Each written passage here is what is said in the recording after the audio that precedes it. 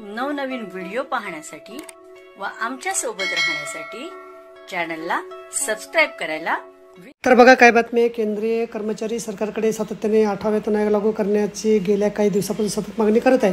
तर आगामी आगामी अर्थसंकल्पापूर्वी ही मागणी पुन्हा एकदा जोर धरू लागली आहे.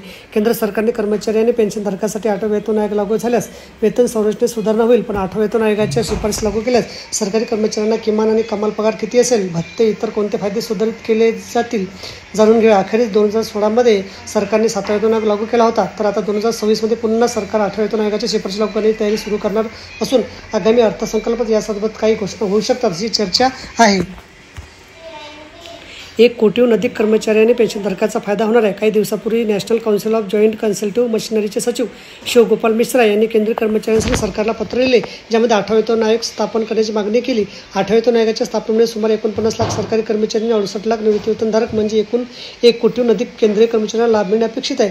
सरकारी कर्मचारी सातव्या नायकाच्या आयोगाच्या शिफारशीचे पालन करत असून आठव्या वेतन आयोगाची जानेवारी दोन हजार सव्वीसपासून लागू होऊ शकतो ज्यामुळे कर्मचाऱ्यांना मोठा फायदा होईल. तर आठवीतून आयोगानंतर फिटमेंट फॅक्टर वाढीसह कर्मचाऱ्यांच्या पगारात वाढ अपेक्षित असून फिटमेंट फॅक्टर मुख्य सूत्र आहे जे आठवीतून आयोगाच्या अंतर्गत कर्मचाऱ्यांच्या पगाराने वेतन मॅट्रिक्स मिळवण्यास मदत होते.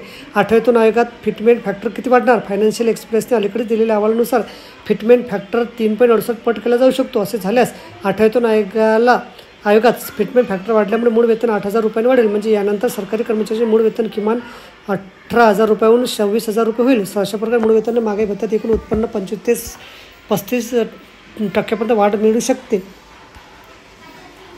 नाय वेतन आयोगामुळे आठव्या वेतन आयोगाच्या शिफारशीमुळे मूळ वेतन भत्ते पेन्शन आणि इतर आर्थिक लाभामुळे वाढ होईल. सर्वप्रथम कर्मचारी पगार वाढतील ज्यामुळे मागे भत्ता डी आणि पेन्शनधारकात देण्यात येणाऱ्या मागे सवलत डी आर इथं सर स इतर भत्ते ठेवण्यासाठी वेतन आयोगा स्वतः सूत्र तयार कर केला जाईल.